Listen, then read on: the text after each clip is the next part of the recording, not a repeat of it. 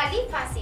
नई दिल्ली, नोएडा, राजधानी से सटे ग्रेटर नोएडा के स्कूल में छात्रा और छात्र के शव मिलने से हड़कंप मच गया है। बता दे कि तनेजा गाँव के ऑक्सफोर्ड ग्रीन स्कूल में दोनों के शव लटके मिले हैं। दोनों अलग अलग स्कूल में पढ़ते थे। मौके पर पहुँची पुलिस ने प्रसंग की आशंका जताई है। बता दें कि ये घटना ग्रेटर नोएडा के राघोपुरा थाना क्षेत्र की है, जहाँ स्कूल में ग्यारहवीं क्लास की छात्रा और बारहवीं क्लास का छात्र। फांसी लगाकर खुदकुशी कर ली है। छात्रों छात्रा का शव फंदे से लटका हुआ मिलने से दोनों ही परिवार में कोहराम मचा हुआ है। बता दें कि छात्रा की 15 दिन के बाद शादी होने वाली थी। इलाके से मिली जानकारी के मुताबिक दोनों एक दूसरे से प्यार करते थे। पुलिस की जानकारी के मुताबिक दादरी सीओ निशांत शर्मा ने जानकारी देते हुए बताया कि शव मिलने की जानकारी के बाद मौके पर पहुँची पुलिस ने शव को कब्जे में लेकर पोस्टमार्टम के लिए भेज दिया गया है। तो खबरों में आज के लिए इतना ही।